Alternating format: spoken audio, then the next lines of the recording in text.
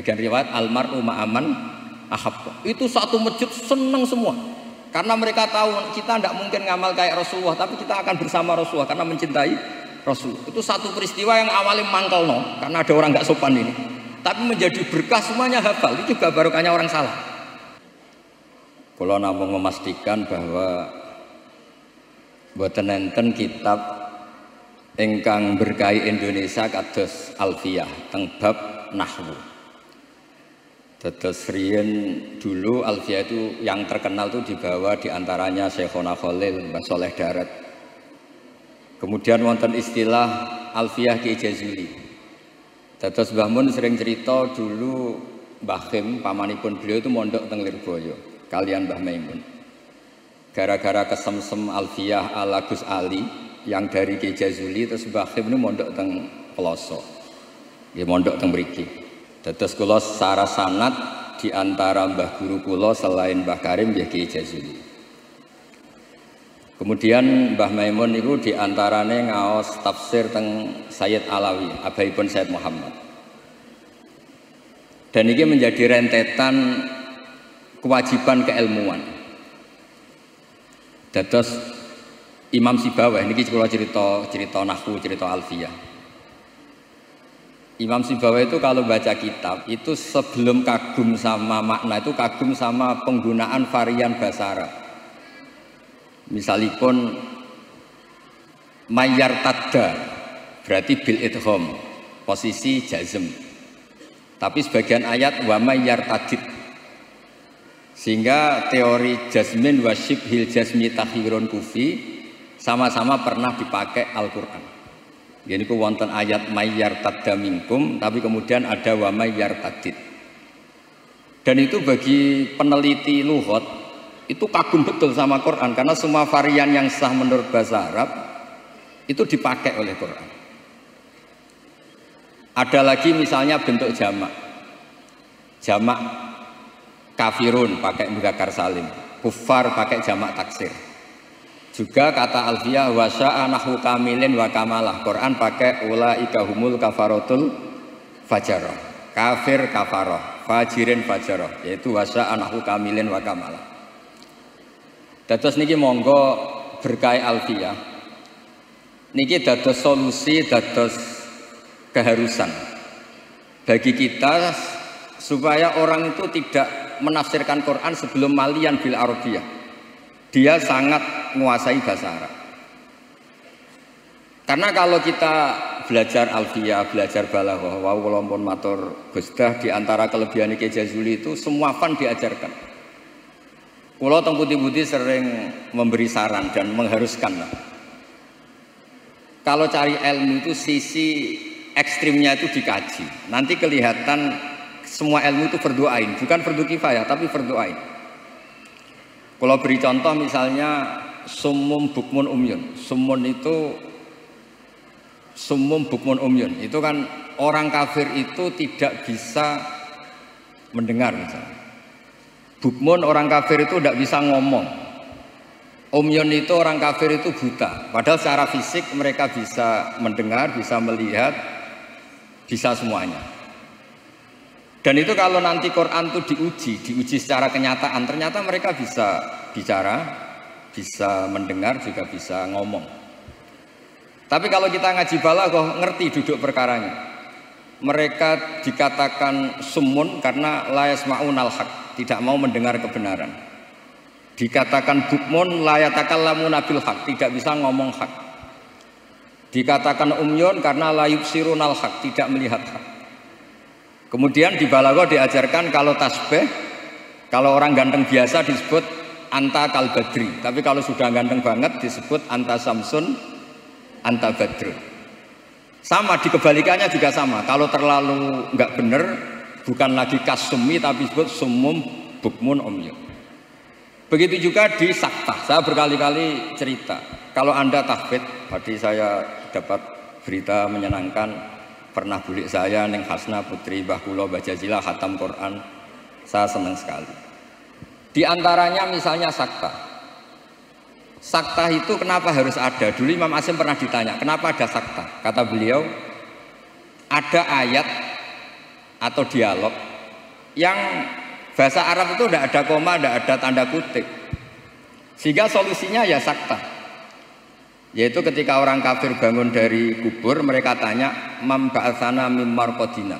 Siapa yang bangkitkan kami dari kubur? Terus ada al-mujawid. Min jihadillah au bilisanil malaikah hadza ma wa'adar rahman wa sadaqal mursalun. Jadi yang pertama adalah su'alul mustafim. Penanya, yang kedua adalah mujawid. Andaikan itu tidak disaktah, maka betapa kacaunya memba'atsana mimar qadina hadza ma wa'adar rahman. Itu menjadi kekacauan secara makna yang luar biasa sehingga kemudian disakta. Memba'atsana mimar qadina. Jawabannya apa? Hadza ma wa'adar rahman. Nah, hal-hal seperti ini juga terjadi lagi misalnya di awal kahfi. Allah itu mensifati kitabnya yang agung. Alhamdulillah alladzi anzala ala abdi kita bahwa lam yaj'al iwaja lan orang gawe sapa Allah lahu maring Quran ora digawe iwajan ing bengkok. Kalau dibaca langsung koyiman itu bisa ada tasal tutul amil pada koyiman. Eh walam Allahu koyiman itu fatal betul. Allah tidak bikin bengkok juga gak bikin lurus. Tapi berkahnya sakta itu menjadi natijah. Allah itu tidak bikin Quran itu bengkok. Diam, tidak bengkok itu apa? Lurus. Nah itu makanya butuh sakta. Jadi saya berkali-kali mencontohkan, cung saya jangan belikan sate, pecel, rawon, itu semuanya dilarang. Tapi kalau sakta, cung saya jangan belikan sate, jeda, pecel. Itu artinya jangan belikan sate tapi nopo pecel. Nah, ilmu-ilmu yang talak min afahil masaya, kalau kalau belum tahu hikmahnya atau illatul hukmi, paling tidak kamu sudah benar bahwa setiap baca ini sakta secara riwayat. Nanti Anda akan lebih detail kalau menguasai diroyah. Makanya kalau di masa saya sarang di, sering diajarkan kodimit diroyah ala riwayah. Setelah dikaji, memang sakta ini satu keharusan. Karena kalau tidak ada sakta bisa maknanya juga dikaji. Begitu seterusnya di bab-bab nahwu. Nahwu itu terkenal kan dulu ada orang terkenalnya ya. Abdul Aswad Abdul Ali itu sama putrinya melihat bintang Terus kagum bilang ma ahsanus samai. Karena redaksi ini menjadi istifham, abahnya menjawab nujumuha ya bintangnya. Terus kata anaknya, innama aradtu bidzalika ta'ajjub. Saya ini kagum. Oh, harusnya kamu baca ma ahsanas samaa, bukan ma ahsanus samai tapi ma ahsanas sama. Semenjak itu terus mulai kepikiran nulis nahwu. Ada yang lebih fatal dari cerita itu. Ada seseorang yang terus gak mau sholat. Jadi ateis. Gara-gara baca ayat inna wa bari minal musyrikina wa rasulih. Dia baca jer. Kalau Allah sama Rasulnya saja tidak ngurus apalagi sama kita. Allah itu terbebas gak urusan dengan orang musyrik. Wa rasulih juga gak ngurus Rasulnya. Kalau sama Rasul saja tidak ngurus apalagi sama kita. Sama Sayyidina Ali dibenarkan yang benar bacanya itu wa rasuluh. Allah bari minal musyrikin wa rasuluhu bariun aidan. Rasulnya juga bariun aidan. Nah hal-hal seperti ini tuh menjadikan kita akan mutafakih akan mengkaji fikih secara serius. Dengan cara mengkaji bahasa Arab secara serius. Tanpa itu kita tidak bisa tidak bisa mengartikan Quran. Kemudian Alfiyah sebagai karangan ini saya cerita sedikit. Saya juga sering mengkaji Alfiyah. Alfiyah sebagai karangan itu ya ada dengan tanda petik ada pemberontakan, ada kritik. Kritik ini penting karena istiqmalul Arab itu tidak bisa diwadahi hanya alam ada di Sibawai. Sehingga meskipun Sibawai ini orang yang paling top di dunia nahu, tetap saja ada kritikus-kritikus nahu yang tidak sependapat dengan beliau. Makanya di Alfiyah ada misalnya Kada tani hiwati sholat akhtaru Goiri ikhtaro infisola Ada wa'audu khofidin la da'atfin ala domiri khofidin laziman baju'ila Terus beliau bilang walisa inti laziman. Ada lagi wasab kohalima biharfin jurrokot abau. Nah, Wala amnauhu fakot warok. Itu jelas beliau menantang jumhur. Beliau jelas cerita abau semuanya menolak Tapi wala amnauhu menurut saya tidak masalah. Wa autu khafidin juga sama, kata normalnya kan maror tubika wa bizaidin. Tapi kata beliau boleh maror tubika wa zaidin. Kata beliau wale sa'in dilaziman itqat ata. Fin nazmi wan nasri sahihi musbata. Dan itu akhirnya menunjukkan beliau itu alim bil qiraati sab'i dengan qiraat sab'ah. Ya, baca yang benar itu bil qiraati sab'i karena qiraah itu muannas sehingga di, di adat kalau muannas justru taknya apa? dibuang jadi salah satan kita ikulil asroh fi adima ahaduhu mudakaro terus fidit dijarit. Jadi yang benar tuh fil atis sab'i. Ya tapi yang sering orang bilang kiro anopo sab'a. Nggih boten napa-napa niku di bahasa Indonesia ngoten mawon boten usah ditakwil. Sebetulnya kalau secara fanatik kalau makdudnya itu muannas justru tambah nopo tak Makanya kalau di nahu-nahu itu fil atis sab'i, bukan fil atis sab'a. Tapi karena itu sudah jadi bahasa Indonesia ya sudah lah enggak. Kayak kayak kita kalau di kampung itu wes tahiyat awal. Ape pinter kancane goblok. Ape goblok kok kiai tahiyat kok awal, mesti tahiyat pula. Jadi enak goblok bareng ngoten mawon Karena kalau sering matur tahu teng Mbah Kausar. Pertama korban itu loh, sesuai abai gitu digojlok. Semoga kapan-kapan lebih berakhlak. Mbah Mulon.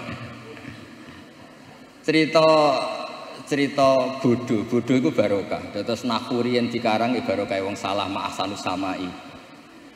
Rien hadis paling populer ini barokah yang bukan sopan. Terus Nabi pas khutbah. Ini cerita mungkin cerita terakhir pula. Nabi pas khutbah cerita kiamat, kiamat itu dahsyat. Mungkin orang ini mangkel, ini cerita kiamat kok gak ada tanggalnya. Makanya tanya, ya Rasulullah mata sa'ah. Engkau ini cerita kiamat tapi tanggalnya nggak jelas. Engkau bilang itu kapan? Kita bisa persiapan. Nabi nggak jawab. Ya mulai dulu analis itu banyak. Nabi ketika jawab, ada yang sahabat bilang lam yasma, falam yujib. Nabi nggak dengar maka tidak jawab. Yang satu bilang sami awakariha. Sebenarnya Nabi dengar tapi nggak berkenan karena pas khutbah kok di jeda ada pertanyaan. Tapi lama-lama Nabi tanya, Manis Sa'il. Yang tanya tadi siapa? Diulang lagi sama Arabi tadi. Mata sa'ah. Terus Nabi tanya, Ma'at tatalah. Andai kan tahu kapan kiamat, yang kamu persiapkan apa? Fawa wa ma'at tatulah kabiro sholatin wala kada wa kada. Walakin buka. Saya tidak menyiapkan banyak sholat, tidak menyiapkan banyak zakat, tapi saya mencintai kau ya Rasulullah. Terus kata Nabi, anta ma'aman ahbabta. Sebagian riwayat, almaru ma'aman ahab. Itu satu masjid senang semua. Karena mereka tahu kita tidak mungkin ngamal kayak Rasulullah, tapi kita akan bersama Rasulullah karena mencintai Rasul. Itu satu peristiwa yang awalnya mangkel no, karena ada orang nggak sopan ini. Tapi menjadi berkah semuanya hafal. Itu juga barokahnya orang salah. Mulanya nak sampai baca kitab salah, jumci salah sing barokah. Boten karena barokah salah itu terus ketok murid. Kalau yang di konco itu gobloknya rakaruan. Sampai pulau mangkel. Gus ngaji ojo pinter-pinter, gak sopan nyanyi Mbah Mun. Terus nak goblok kan gak nyanyi gurune tadi dan saya ini goblok ini amdan bukan sahwan kata. Karena Mbah Mun pinter, masa murid ikut pinter, mboten napa? Sopan. Jadi maksud kula niku nak sampean pinter nggih ben dadi bangga Pondok Al Falah. Nak goblok ya niati tawadhu. Wong Gus Kausar potongane mau disaingi ngoten. Terus kabeh saya. Karena ciri utama iman itu kodok kodar khairihi wa minallah. Kula nate ngisi muji tiang medit niku kuwata sing janggal. Kula nu wong medit nggih seneng, mbek wong lomo ya seneng. Kok saged, Gus? Nak lomo untuk duit ya nek digo apa tau apa lah jenenge duit. Nak wong medit iku nggih seneng kok. Mboten njaluk swarga. Kadang wong lomo 100.000 njuk swarga. 200.000 njuk anake pinter apal alfiah apal Quran satu sewu jaluk nopo artinya gini kita ini kan nanti takut hisap kalau nggak ada orang yang ngasih kita kita tidak akan dihisap karena yang ngasih itu ya ono kompensasi nih apalagi politikus oh nak ngekei gak dituruti karepe niku dihitung maksudnya bu nak untuk duit ya barokah kena gue sodako nak rantuk duit ya barokah buat nenten nopo hisap itu harus diperkuat supaya kita jadi kiai itu pede Mau dawe Gusdan itu Mbah Jazuli itu pede. Kalau nanti diceritani beliau sowan Mbah Hamid. Kan sinten. Kalau Jazuli. Lah anak sing kiai teng Kediri sinten? Kula. Masyhur cerita iki Jazuli. Terus dadi kiai itu sing pede. Dewe bapak kula nggih ngoten. Kon ngimami masjid ra gelem, kon mulang ra gelem, nek salah komen. Iku ra tawaduk, iku mau tanggung jawab.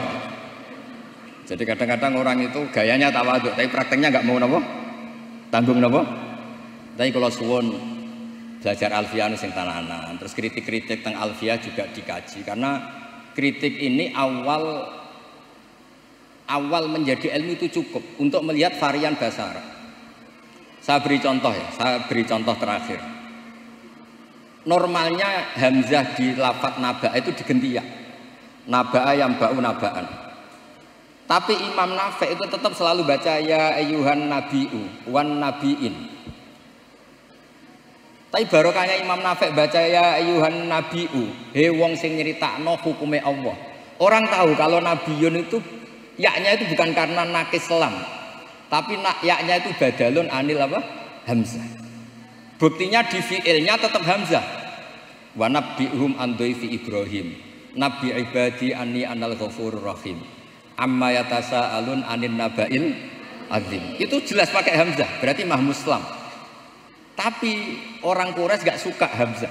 Wa Quraisyun lam yuhammis. Ada yang baca wa Quraisyun lam tuhammis.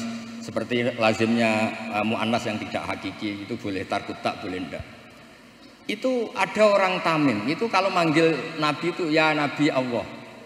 Hei orang yang menceritakan ketentuan Allah. Terus kata Nabi, anak Quraisyun. Saya ini orang Quraisy, jadi kalau baca ya, ya Nabi Allah. Nah nanti setelah anda belajar kiro asabah atau kiro al kiro atau sabu tadi, walam yakullahu kufuan ahad. Kufuan itu tidak ada maknanya. Yang dimaksud Allah adalah walam yakullahu kufan ahad. Allah itu tidak ada yang menyamai seperti di bab kafaah. Itu mah muslim. Tapi di takfif menjadi wawunya diganti apa? Apa hamzahnya diganti apa? Wawu. Sehingga tetap ada kiroah walam yakullahu kufan ahad. Kiroah kita walam yakullahu kufuan. Begitu juga lafat yastahzi'u. Orang kafir itu kalau dengar adzan atau dengar sholat ittakhudu wa huzuwau wala iba. Pakai wawu huzuwau. Tapi nanti di fiilnya Allahu yastahzi'u bihi. Nah ini pentingnya ngaji. Jadi saya mohon ngaji nahkunya ya jalan, iklalnya ya jalan. Karena iklal ini penting. Dulu Nabi ketika baca walaqad yassarnal qur'ana lidzikri fahal mim muddakir. Itu sahabat kaget semua. Karena mereka tahu kalau yang dimaksud Nabi itu Quran saya mudahkan, apakah kamu bisa ingat? Mereka tahu kalau maknanya ingat itu pakai dal. Makanya sahabat antar mereka tanya, adalan amdalan. Tadi Nabi melafatkan dal apa dal? Semuanya bilang dalan. Nabi tadi jelas bacanya fahal mimud dakir. Akhirnya ditemukan ilal tafti alin rudda ithromut bagi fiddana wasdat wadakir dalan bagi. Jadi zakaro ikut wazan ifta'ala menjadi apa? takaro. Terus kena kok idah tafti alin rudda ithromut bagi kemudian apa? Dal diganti apa? Dal. Setelah diganti dal tak diidrukan ke apa? Dal. Menjadi fahal mimud dakir.